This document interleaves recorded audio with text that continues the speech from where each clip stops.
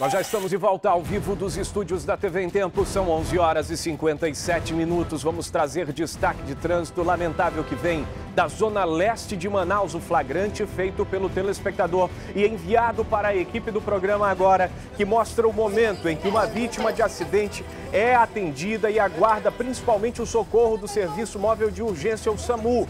Este é um mototaxista que por volta das uma da tarde, de uma hora da tarde, acabou sendo envolvido em um acidente de trânsito ali no Coroado, na zona leste de Manaus, e teve uma das pernas completamente esmagada, Márcia. Amaral é o David Demétrio de Assunção, de 35 anos. Ele estava conduzindo a motocicleta dele junto com essa outra senhora que está do lado, como você pode ver, de bermuda preta aí, olha, você acompanha aí. Os dois estavam na moto quando um outro veículo acabou batendo na moto que ele estava e acertou a perna dele em cheio. Ele é mototáxi, como você tá, pode verificar aí nas imagens, e o carro fugiu do local. Simplesmente bateu o mototáxi com a mulher que estava sendo levada aí no, no, no Coroado, né? Que foi lá no bairro Coroado, na zona leste da cidade, e aí acabou que deixou um estrago. Foi na rua Beira Rio. A gente vê que o mototaxista ficou gravemente ferido, uma ferida, um ferimento muito grave, teve praticamente a perna, como o Amaral muito bem eu disse,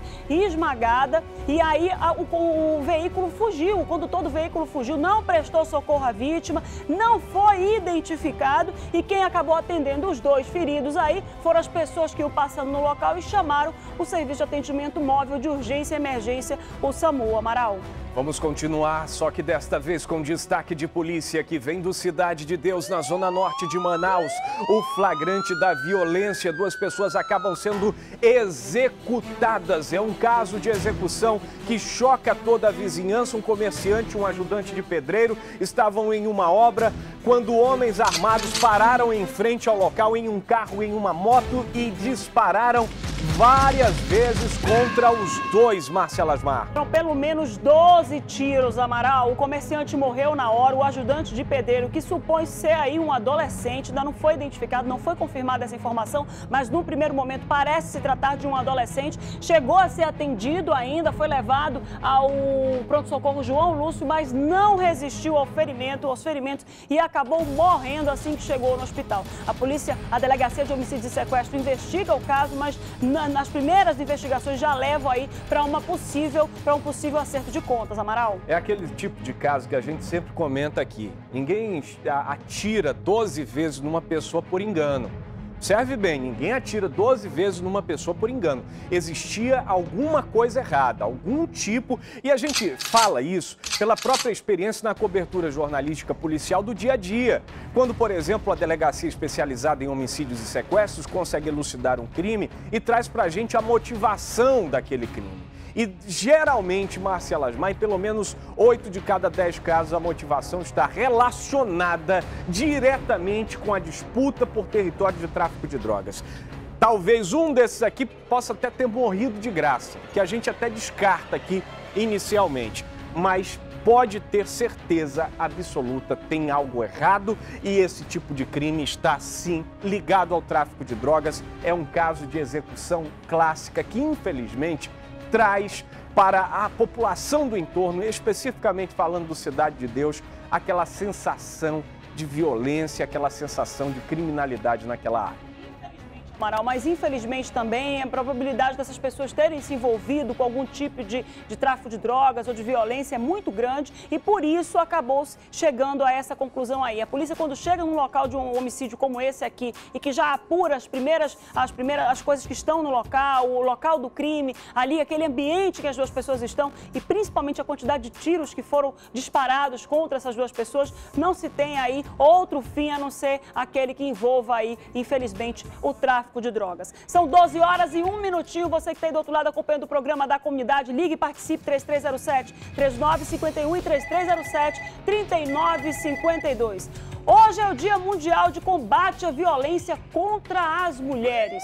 Por isso, familiares e ONGs estão realizando na manhã de hoje, na Praça da Polícia, um ato público contra as formas de violência contra as mulheres. E é o que a gente vai ver agora. Coloca na tela.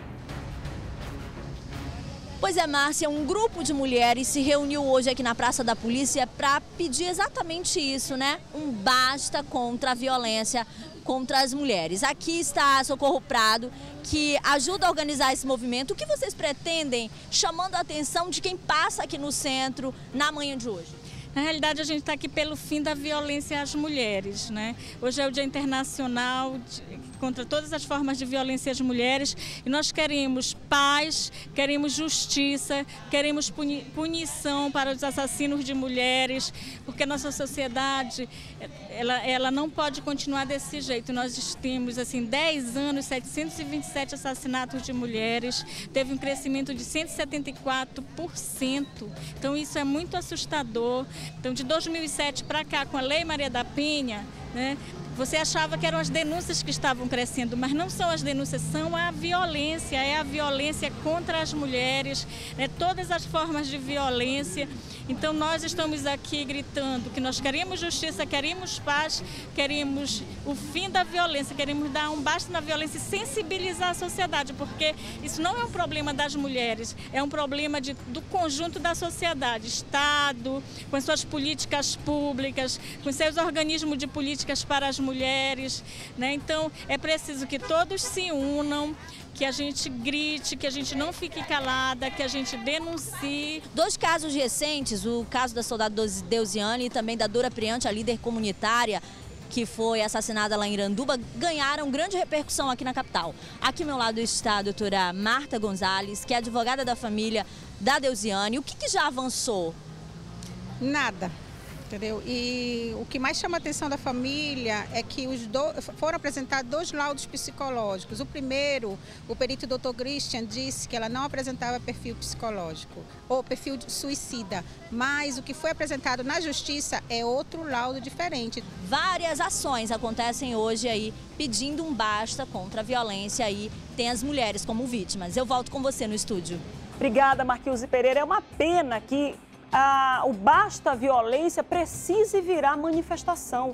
Isso tinha que ser automático. Esse não à violência tinha que estar em cada uma das casas, em cada uma das escolas, em cada ambiente em que transite homens e mulheres. Não devia ser necessário que nós precisássemos aí fazer manifestações, cartazes e lembrar homicídios que estão demorando a ser investigados e se chegar a uma solução porque ah, simplesmente a violência não acaba e porque a mulher é tratada dessa forma.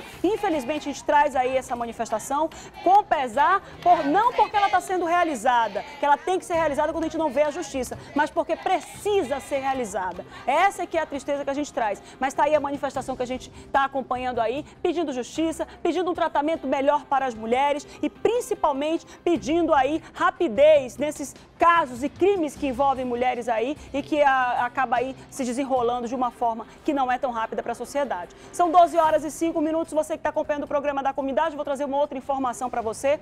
Um assessor de um vereador aqui da capital está desaparecido há quase um mês. A polícia investiga o caso, mas a família acha que ele pode estar morto. Coloca na tela para mim.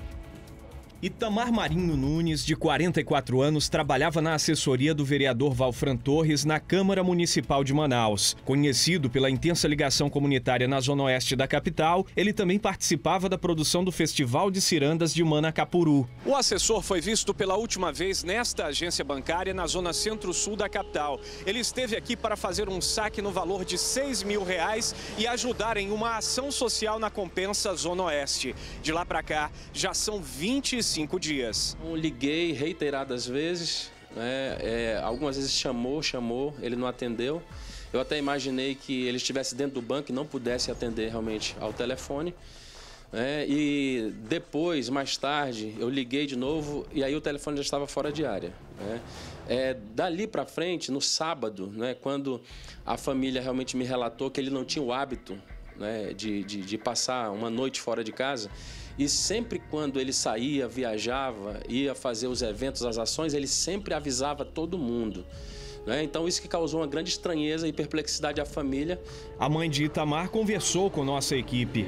Emocionada, ela disse que já perdeu a esperança de encontrar o filho com vida. Isso porque recebeu uma foto no celular que mostra um homem amarrado, jogado em uma área de floresta e que ela acredita ser o filho. Ele não está vivo, não. Até agora, às seis horas da manhã, eu chorei muito ele não está vivo, não.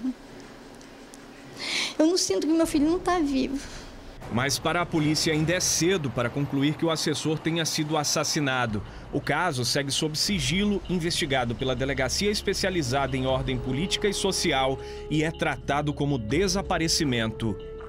Até que se encontre o corpo e se confirme que é ele, a gente tem que ter esperança. A gente tem que acreditar que ele pode ser encontrado sim. A gente não pode é, antecipar a morte de uma pessoa sem encontrar o corpo dessa pessoa. Então a gente espera, francamente, que a polícia, dentro aí do, do que tem aí, dos recursos tecnológicos, né, de toda a perícia que se faça aí, eu tenho, eu acho que a, a, a gente pensa aí que ele pode ser encontrado sim, é o que a gente torce, torce para que ele seja encontrado. 12 horas e 7 minutos, Amaral.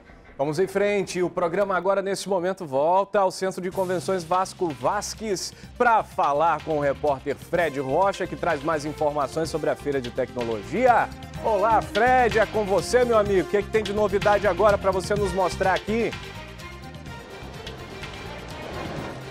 Pois é, Amaral Augusto, olha, nós falávamos nas outras vezes do objetivo dessa feira, né, de fomentar a ciência e tecnologia aqui no estado, mas quem está aqui ao meu lado, que vai comentar mais sobre esse assunto, é o secretário da CEPLAN, Tomás Nogueira. O secretário, muito bom dia para o senhor. Além desse objetivo de fomentar a ciência e tecnologia, quais outros objetivos deste evento? Na verdade, de mais nada, boa tarde a todos, a satisfação estar aqui no Agora.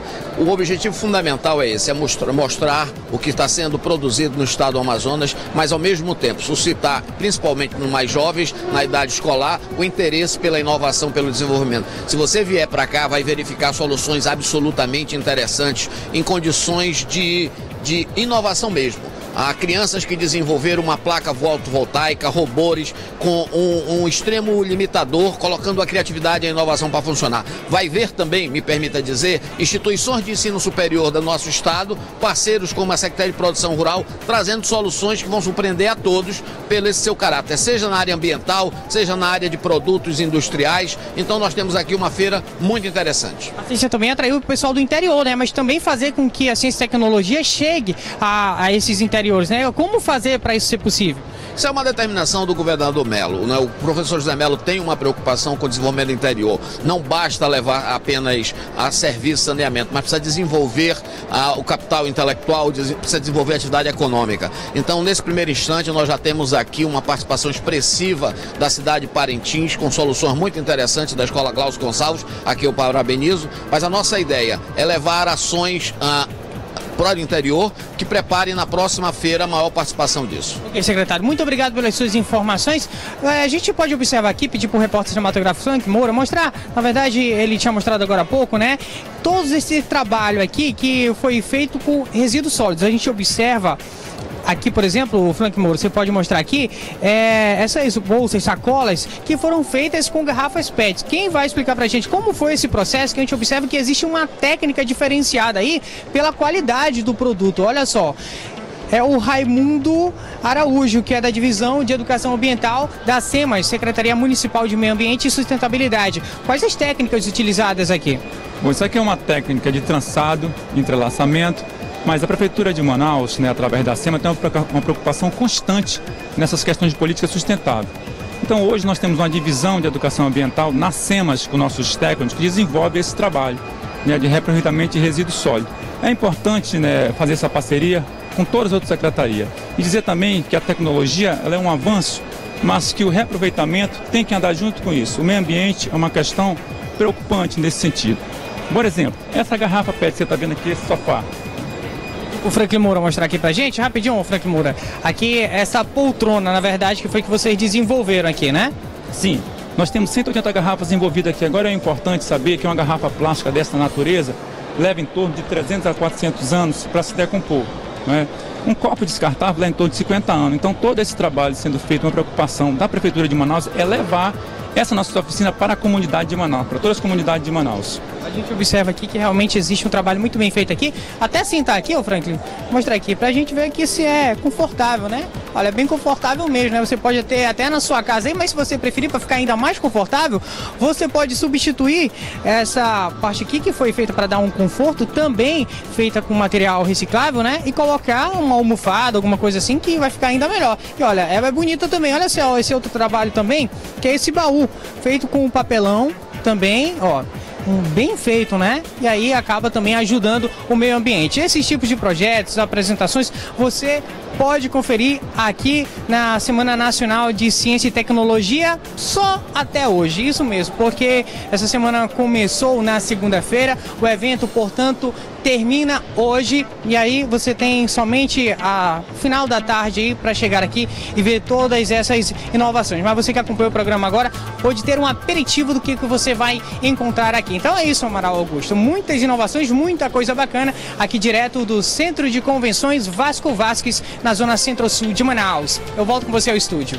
Bacana, Fred Rocha, gostei. Fred sentou ali na, na poltrona reclamou um pouco, disse que não estava tão, né, não estava tão confortável. Marcelo Asmar sugeriu colocar uma almofada. Vamos mandar uma almofada para você aí, Fred. Vamos mandar uma almofada aí para você sentar direitinho aí na, na poltrona. Que legal, Olha isso aqui. Oi, cadê a almofada? Traz, traz, Carlinhos, a almofada. Manda, manda lá pro Fred Rocha. Manda essa. É, ei, Fred, essa almofada aqui fica boa pra você. Diretor, pede pro Fred sentar lá de novo, que é pra gente mostrar lá a poltrona. E que a gente já tá encaminhando já a, a almofada lá pra ele, viu, é, Fred? Vai chegar lá. O Fred já sumiu, Marcela, mas já, eu vou, eu mesmo... já pegou o beco.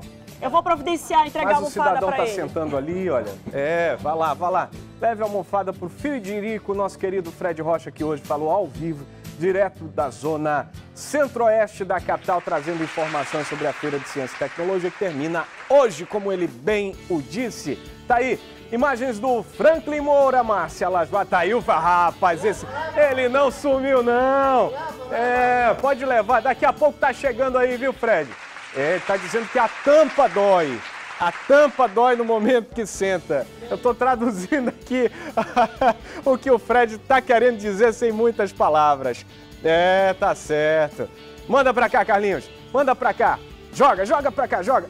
Isso! Vai, Fred, vou, vou mandar aí essa almofadinha para você para melhorar aí o, o, o, o, seu ato de sentar. Enquanto isso, Márcia Lasmar tá chegando, trazendo dica especial para você que acompanha o Agora. Chega de sacrifícios para acabar com a gordura localizada. Nesse verão, entre em forma com Imecap redutor de medidas. Veja o depoimento da ex-BBB Ana Madeira. Oi, gente. Vocês sabem que eu emagreci mais de 20 quilos. E como toda mulher sempre tem aquela gordurinha localizada que não sai por nada desse mundo. Eu uso o Imecap redutor de medidas. Eu passo o creme nas pernas, no bumbum e na barriga e também tomo as cápsulas. Então aqui fica o meu segredinho, Imecap redutor de medidas.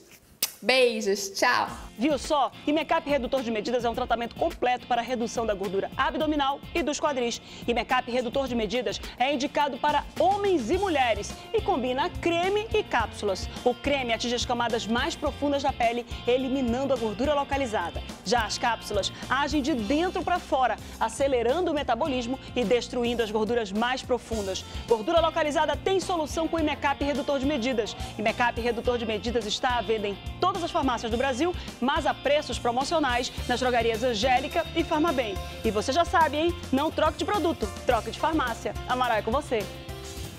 Muito bem, obrigado, Márcia Lasmar. 12 horas 15 minutos. Já já depois do intervalo, vamos trazer informações direto do centro de Manaus. O encontro pode ser agora, diretor. Coloca na tela aqui, por gentileza, então.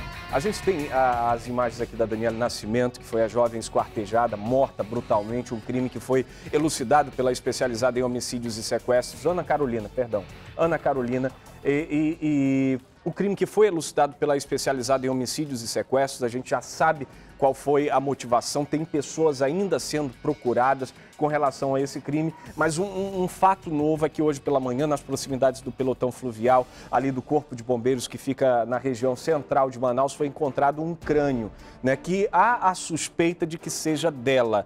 Então o pelotão acabou é, recolhendo esse crânio humano e enviando para o Instituto Médico Legal. Eles lá devem juntar também com uma mandíbula que foi encontrada e, por meio do exame de DNA, é, constatar se pertence a ela ou não. É mais um fato que a gente noticia aqui no programa. Agora vamos para um rápido intervalo. Daqui a pouco a gente volta com muito mais informação e comunidade para você. Até já!